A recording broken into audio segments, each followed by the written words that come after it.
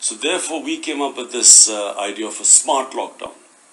We decided that uh, we would, on the one hand, um, uh, stop all places where there were public gatherings, so schools, colleges, marriages, anywhere, sports activities, everything we stopped. But on the other hand, we allowed other activities like um, like uh, like construction and and agriculture. We did not stop any uh, uh, uh, workers in the in the agricultural area because, of course, then we would have had a huge food crisis.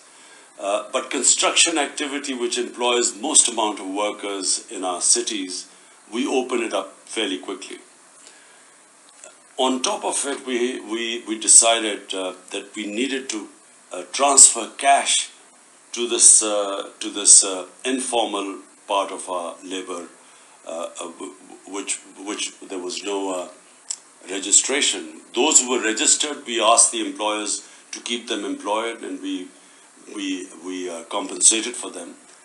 But the ones who weren't registered, we set up the system of people registering uh, eh, eh, with our with our Ehsaas program, which was this program through which we distributed money. We had desks everywhere where people were registering there. We had them checked, and then we in in Pakistan's history never was so much money transferred to so many people in such, such a short space of time. So um, that's saved us from some of the worst aspects of the lockdown. For instance, we saw what was happening in India. India did the opposite. They went for a curfew almost. And they had the huge problem of millions of millions of migrant workers who were just left stranded.